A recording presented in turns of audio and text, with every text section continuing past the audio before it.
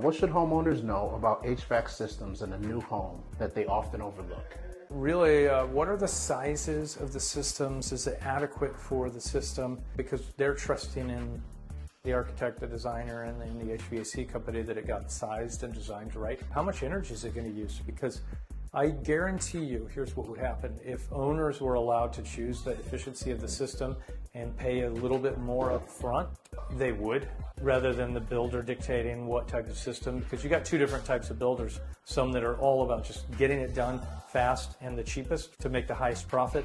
And then you have guys like this that are like, no, no, I'm delivering high end, high quality and uh, we're going to do it right. So we put in 18 SEER fully modulating heat pump systems, state of the art, communicating. As you can see, we came in, it was 88 degrees.